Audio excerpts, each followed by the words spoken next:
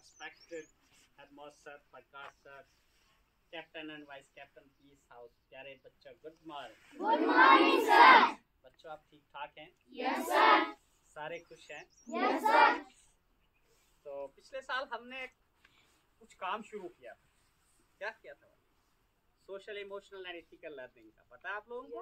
Yes sir तो उसके तहत जो है आज मैं बात करने आया हूँ काइंडनेस पे। ठीक है? काइंडनेस क्या होता है? मेहरबान। है ना? सर हम चाहते हैं कि हर बंदा हमारे साथ हमदर्दी करे। चाहते हैं ना?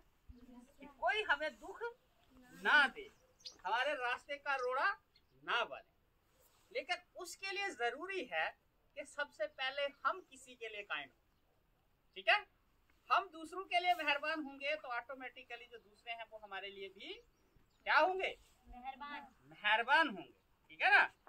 जैसा हम अपने लिए चीज़ें चाहते हैं वैसा ही अगर हम दूसरों के लिए भी चाहें तो ऑटोमेटिकली जो है सिस्टम जो है वो क्या हो जाएगा? फिट हो जाएगा है ना? यस तो ये शुरुआत हम कहाँ से कर सकते हैं? अपने स्कूल के बच्चों से कर सकते हैं। अगर हमारे स्कूल के बच्चों के अंदर ये संस्कार आ जाए कि always be kind towards others दूसरों के लिए हमेशा मेहरबान रहिए। ना सिर्फ़ ह्यूमन बींग्स इंसानों के लिए ही नहीं, बल्कि जानवरों के लिए। पेड़ पक्षियों, पेड़ पौधे हैं, हमारे पक्षी हैं, इन सब के लिए काइंड रहिए हम देखते हैं कि हमारे हाथ में दराटी होती है, कुछ भी होता है, बच्चे घर से बाहर निकलते हैं तो उनको कोई दरख्त, कोई पौधा मिलना चाहिए तो टस टस शुरू हो जाता है। बट वी डोंट फील हमें ऐसा नहीं लगता है कि इसको भी दर्द होती है।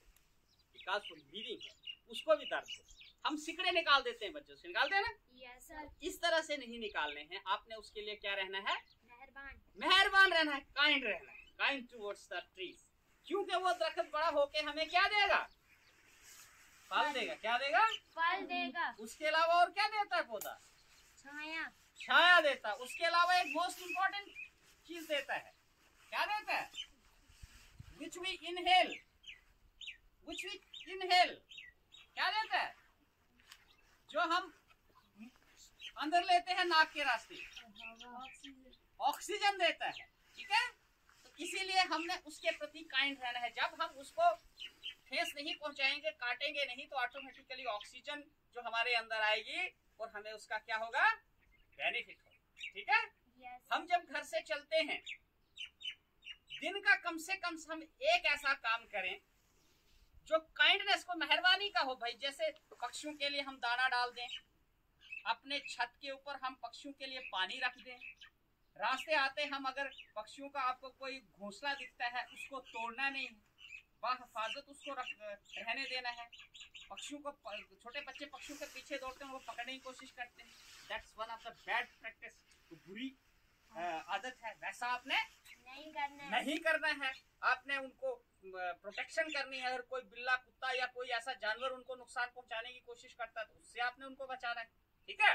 यस सर तो हमने अपने स्कूल में एक ग्रेटिट्यूड बॉक्स जो है उसको रखना है और सारे बच्चों ने क्या करना है खुशियों का पटारा।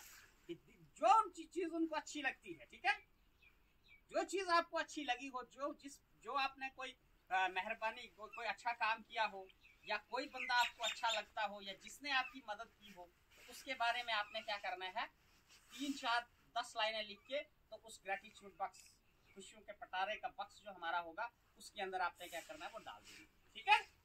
समझ आई? तो इस तरह से इस प्रैक्टिस को हम जो अपने स्कूल में चालू कर देंगे अभी जैसे हमारे एग्ज़ाम खत्म होते हैं।